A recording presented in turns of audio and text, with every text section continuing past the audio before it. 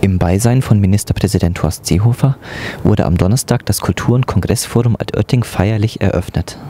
Der Freistaat hat das Bauprojekt mit 8,5 Millionen Euro unterstützt.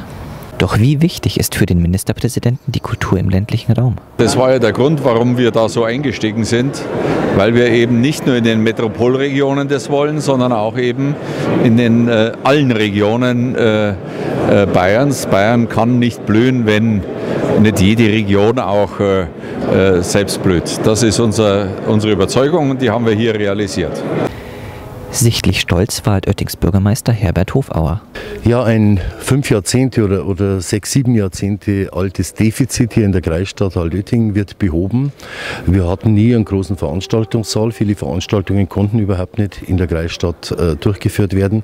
Damit ist jetzt Schluss mit diesem Kultur- und Kongressforum, äh, das möglich geworden ist, weil alle zusammengeholfen haben, äh, die da zusammenhelfen können. Private Sponsoren, die VR meine Raiffeisenbank mit einer Million und insbesondere der Freistaat Bayern, der 8,5 Millionen Euro in dieses Projekt investiert. Also wir glauben, dass die Rechnung voll aufgeht und dass wir den Bürgerinnen hier in der Stadt äh, und den Bürgern und im Umkreis und eben auch den unterschiedlichsten Veranstaltern hier tolle Angebote machen können. Ja, das Kongresszentrum, das Forum äh, ist natürlich schon eine bombastische Einrichtung für die Landkreismitte, für die Kreisstadt hier in Altötting.